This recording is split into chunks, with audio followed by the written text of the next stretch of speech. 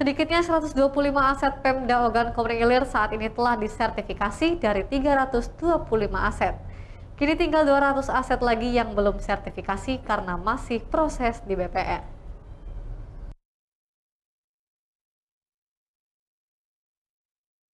Setiap kabupaten kota di Indonesia diwajibkan untuk menertibkan aset Pemda yang dimiliki termasuk penertiban administrasi sertifikasinya.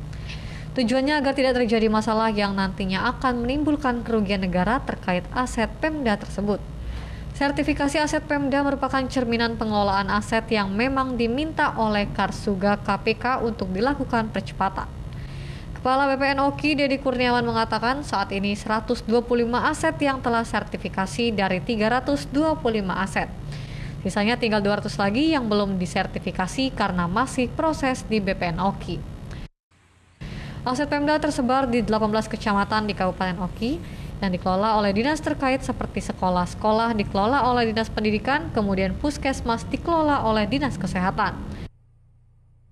Jadi kami dari Dinas Pertanahan selaku dinas teknis yang membidangi ini yang untuk uh, melakukan proses sertifikasi ini kita minta kepada mereka pada saat inventarisasi lahan kita minta kepada mereka untuk menunjukkan di mana batas-batas uh, aset Pemkap tersebut. Apakah ada alas haknya? Kalau memang belum, uh, kita cek kembali bagaimana penguasaan fisiknya di lapangan, apakah ada masalah atau tidak. Nah ini. Pengelola aset diminta untuk memberikan data yang valid dan akurat saat melakukan sertifikasi. Dari Organ Komunikasi Fitriadi, iNews melaporkan.